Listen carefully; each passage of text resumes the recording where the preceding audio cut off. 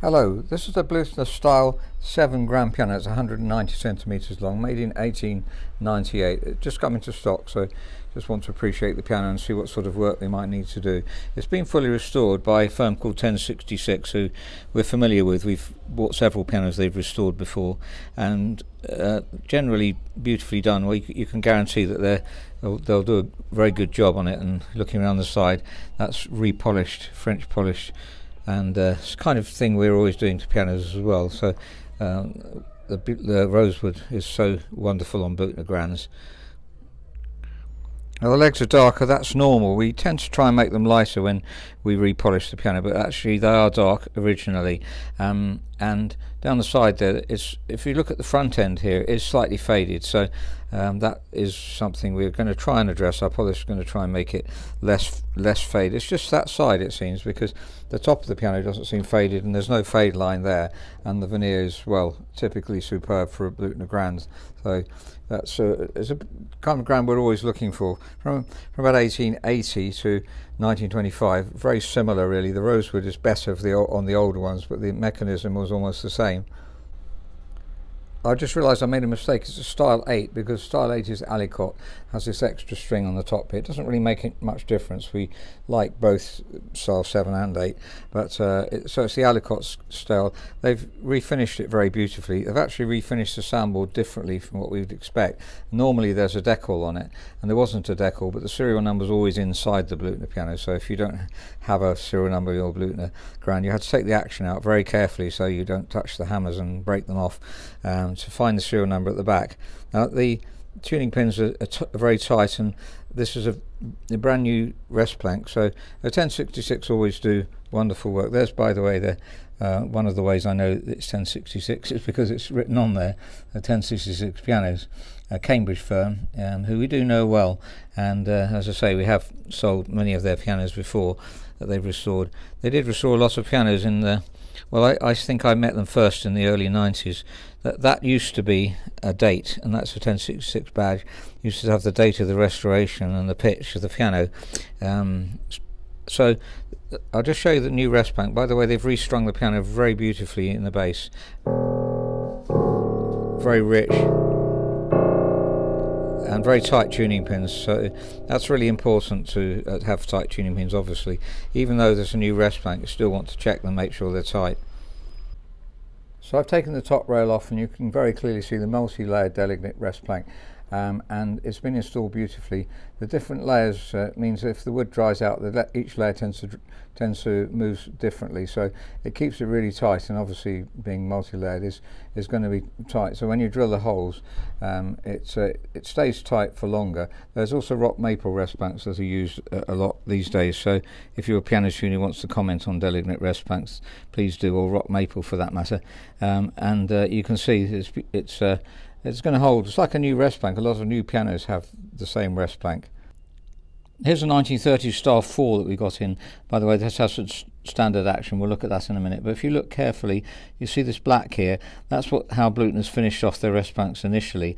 And if that's not black, um, you you may be able to see that that's not black. It's likely to have been replaced. The rest bank's likely to have been replaced, if you can see from the front there. So this is the original Bluth patent action with the L-shaped spring um, and up to 1925. So this is the standard modern action you get in all Blüthners I think after 1925 so this is a standard roller lever action. I forgot to mention that Blüthner have changed these key tops. They're not ivory, although you see a grain in them, but it's identical grain in all of them. That's the typical replacement of, I think, about 20 years ago. So I'm not quite sure. I've reached out to 1066 to see if they can tell me a bit more about the piano. Um, and they've changed the chasers here.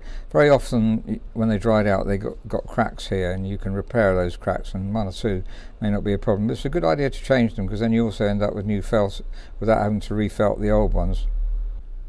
So it's been refitted with new Abel hammers, um, most commonly refitted in Blüthner pianos, also Renner obviously, but Abel has, has the green undercovering. You can usually be sure that that's going to be an Abel hammer, and uh, they are hardly used. If we look at the top here, I think that the possibly it looks like they were marked with carbon paper for for when it was first they were first put on just to get some markings in them because normally they're not that black. Um, I might not, might not be correct there but we sometimes mark them with carbon paper just to make sure the hammer's in line and uh, just so it's easier to voice for the una corda um, that's I've shown that on earlier videos we don't always do that, it's only when it's really necessary to do. Um, now this back rail here was slightly out of regulation. Um, all the let-offs were letting off too early and this was too low so I've just raised it slightly in the middle there. There's still some regulation to do on the let-offs. So the let-offs this button here which uh, pulls the jack out if you see on this bottom key here. Um, that button interacts with the jack and pulls it out um, so that's got to be as late as possible and still work properly. So it's adjusted with this uh, uh, screw here, so just turn that and it takes it up or down. And obviously get it as late as you can, uh, but it's still working properly. By the way, you might have wondered what this little button here is, uh, and I've been told that it was put on because they wanted to patent the action and someone else had made a similar one. I don't know if that's re really the true story or whether it actually does help the jack under. I will, I, at first I always used to think that's what was happening, but it's not very powerful. Um, if you've got any ideas on that, that'd be really useful to hear. I want to show you that it's not this that causes the jack to go back under. There's a spring underneath, and apparently the tension of that spring is really crucial in terms of the feel of the piano. So, so the restoration department tell me. There's the spring, and I didn't realise it was going to have uh, 1066 stock number or uh, restoration number written on there. There's 1066 written on there too, and Blüthner. And uh, you can see that spring under there, so that's what pulls the jack back under. I'm sorry I can't show you very well, but um, another day I'll try and show it a bit better. We have a model action that you, we could perhaps show it on, and that's really important apparently, the how that's regulated. But that's what push, pulls the jack back under. Looking at the let-off, this is middle C, which is roughly reg regulated it pretty much as close as you can get it. So if you play it you get maximum power and it set, it lets off safely and this is F below it and not if you can see but it's not getting anywhere nearer than about one centimeter from the string. It's very common to find Blüthner Grands badly regulated. I don't quite know why, um, but uh, it's not hard to put right. So quite a lot of interesting things to say about this piano. Not a huge amount of work to do. The regulation of the let-offs, uh, dampers are, I didn't show you that, they're quite bad really, and the regulation. So, um, and the key dip, that's acceptable I think. Um, very often you find key dip, in fact funnily enough yesterday I was making a video of one, the key dip 12, now that's far too high. Uh, 10 to 10.4 is pretty normal for a Blüthner. You might want slightly more key dip if the keyboards tend to have 11, so people find it a bit strange when there's not enough key dip. The accord I didn't show that that's going far too far over. Um, so there's bits of regulation to do. So uh, 1066 restored, I've reached out to them to find out any more detail, not quite sure when. Looking at the colour of the strings, maybe 2005 or so.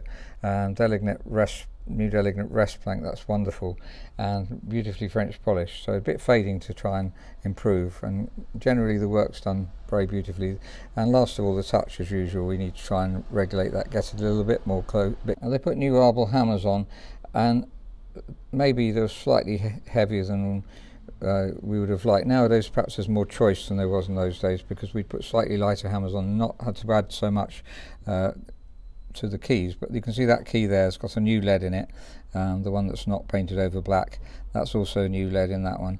And it's almost maximum lead that you can get in these so we would we can still uh, weight them a bit lighter if necessary. And so just to even them up a bit because 60 grams is uh, a little bit high for that for that one. We want to bring it down perhaps to 55 at least. 50, we've mentioned this many times before so 54 in the middle is fine. You could go down as low as 48 if you want a lighter touch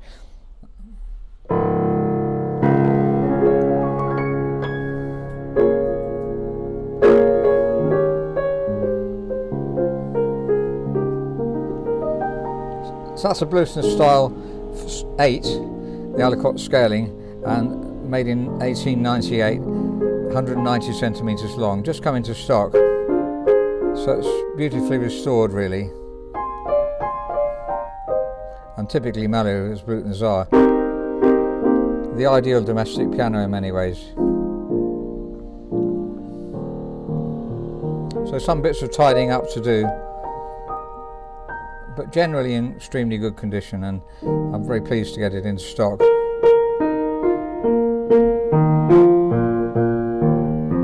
They're so consistent and when they're restored well, they're just so lush really.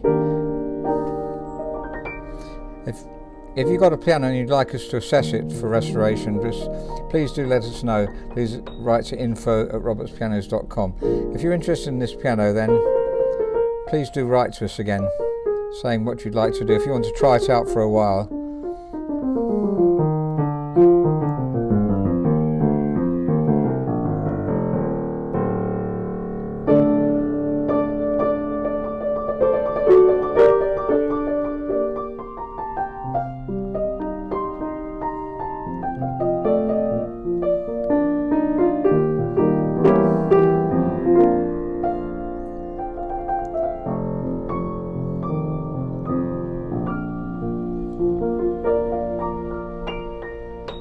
Thank you very much for listening.